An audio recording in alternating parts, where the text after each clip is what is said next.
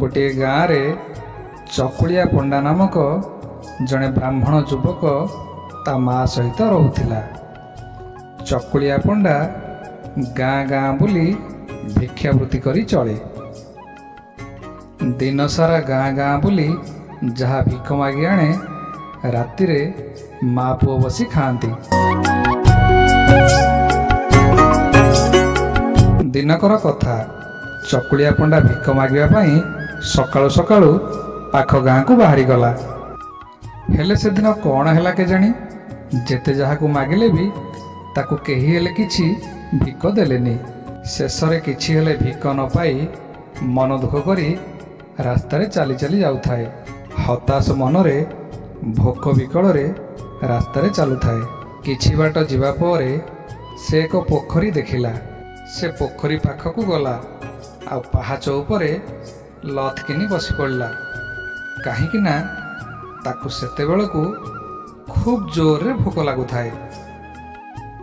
ଚକୁଳିଆ ପଣ୍ଡା ପୋଖରୀ ଭିତରକୁ ଚାହିଁଲା। କାଚ କେନ୍ଦୁ ଭଳି ନିର୍ମଳ ପାଣି।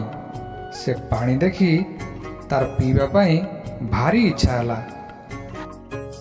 ସେ ପୋଖରୀ ଭିତରକୁ ଯାଇ ଆଞ୍ଜୁଳା ଆଞ୍ଜୁଳା କରି ପାଣି ପିଇବାକୁ ଲାଗିଲା। ଯେତେ ଆଞ୍ଜୁଳା ପିଉଥାଏ ସେତେ ଥର କହୁଥାଏ ଭାତ ଖାଉ ଡାଲି ଖାଉ ତରକାରୀ ଖାଉ କ୍ଷୀରି ଖାଉ ପୁରୀ ଖାଉ ଏମିତି କହି କହି ପାଣି ପିଇବାକୁ ଲାଗିଥାଏ। ଏ କଥା ସବୁ ସେ ପୋଖରୀରେ ଥିବା ଗଙ୍ଗା ମାତାଙ୍କ କାନରେ ପଡ଼ିଲା। ଗଙ୍ଗା ମାତା ସେ ଗରିବ ବ୍ରାହ୍ମଣର ଦୁଃଖ ସହିପାରିଲେନି। ଚକୁଳିଆ ପଣ୍ଡା ଯାହା ଯାହା କହିଥିଲା ସେହି ସେହି ଖାଦ୍ୟ ସବୁ ଗୋଟେ ମାଠିଆ ଭିତରେ ଭର୍ତ୍ତି କରି ସେ ମାଠିଆଟିକୁ ପାଣି ଭିତରେ ଭସେଇ ଦେଲେ ମାଠିଆଟି ଭାସି ଭାସି ଆସି ଚକୁଳିଆ ପଣ୍ଡା ପାଖରେ ଲାଗିଲା। ମାଠିଆକୁ ଦେଖି ସେ ଆଶ୍ଚର୍ଯ୍ୟ ହେଇଗଲା। ହେଲେ ତା ଭିତରେ କ'ଣ ସବୁ ଅଛି ବୋଲି ତାକୁ ଆଣି ସେ ଦେଖିଲା। ସେ ଦେଖେ ତ ସେ ଯାହା ଯାହା କହିଥିଲା ସେଇ ସେଇ ଖାଇବା ଜିନିଷ ସବୁ ଅଛି। ସେ ଭାରି ଖୁସି ହେଇଗଲା। ତାକୁ ତ ଭୋକ ଲାଗୁଥିଲା। ସେ ସବୁ ଖାଦ୍ୟକୁ କାଢ଼ି ସେ ଜୋର ଜୋରରେ ଖାଇବାକୁ ଲାଗିଲା।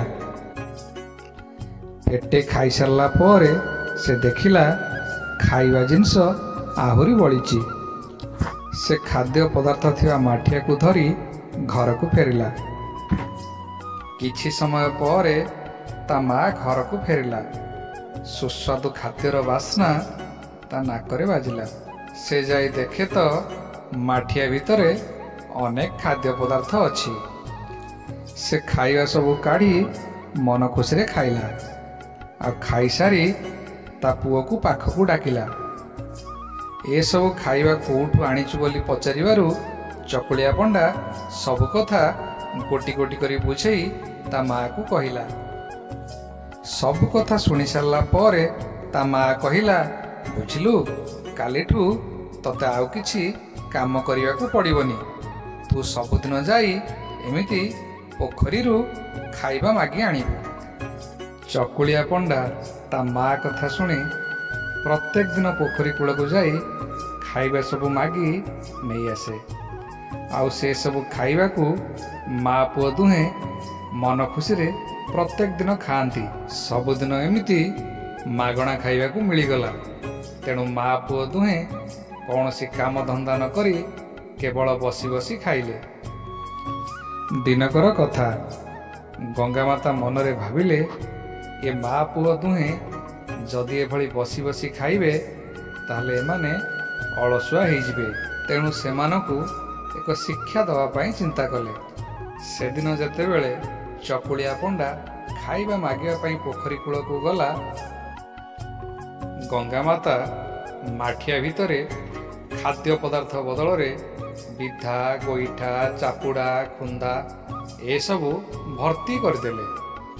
ତାପରେ ମାଠିଆଟିକୁ ଚକୁଳିଆ ପଣ୍ଡା ପାଖକୁ ଭସେଇ ଦେଲେ ମାଠିଆଟି ଭାସି ଭାସି ଆସି ଚକୁଳିଆ ପଣ୍ଡା ପାଖରେ ଲାଗିଲା।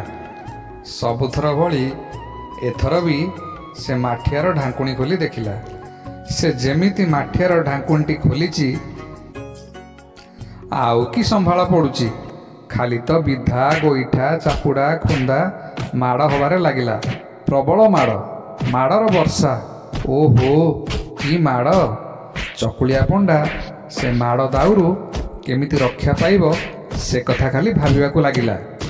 ଯେମିତି ସେମିତି ହଉ ପ୍ରାଣ ବିକଳରେ ସେ ମାଠିଆର ଢାଙ୍କୁଣୀଟି ଆଣି ଘୋଡ଼େଇ ଦେଲା।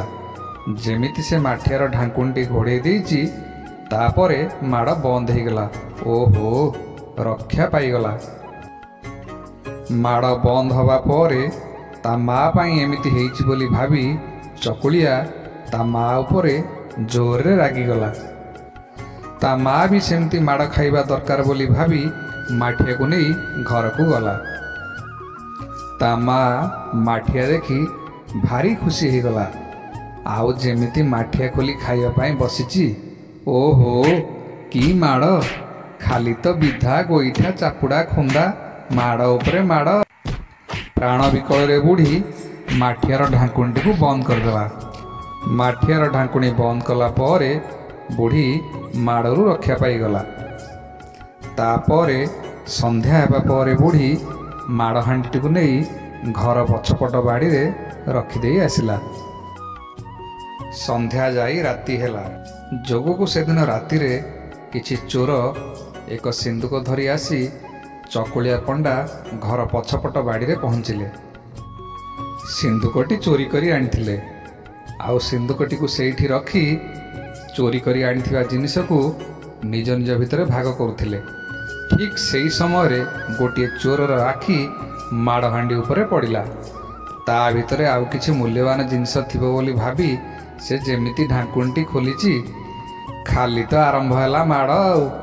ବିଧା ଗୋଇଠା ଚାପୁଡ଼ା ଖୁନ୍ଦା ପ୍ରାଣ ବିକଳରେ ଚୋରମାନେ ସିନ୍ଦୁକଟିକୁ ଛାଡ଼ି ଦୌଡ଼ି ପଳେଇ ଗଲେ। ଚକୁଳିଆ ପଣ୍ଡା ଆଉ ତା ମା ଘର ଭିତରେ ଥାଇ ଏସବୁ ଦେଖୁଥାନ୍ତି। ଚୋରମାନେ ଯେମିତି ପଳେଇ ଗଲେ ମା ପୁଅ ଦୁହେଁ ଘର ପଛପଟକୁ ଗଲେ। ସେମାନେ ସିନ୍ଦୁକ ଖୋଲି ଦେଖନ୍ତି ତ ସିନ୍ଦୁକ ଭିତରେ ଟଙ୍କା ପଇସା ସୁନା ରୂପା ଭର୍ତ୍ତି ହେଇକି ଥିଲା। ତାପରେ ମା ପୁଅ ଦୁହେଁ ମିଶି ସିନ୍ଦୁକଟିକୁ ଘର ଭିତରକୁ ନେଇ ଆସିଲେ ସେଇଦିନ ଠାରୁ ସେମାନଙ୍କର ଦୁଃଖର ଦିନ ଗଲା ସେମାନେ ବେଶ ଆରାମରେ ରହିଲେ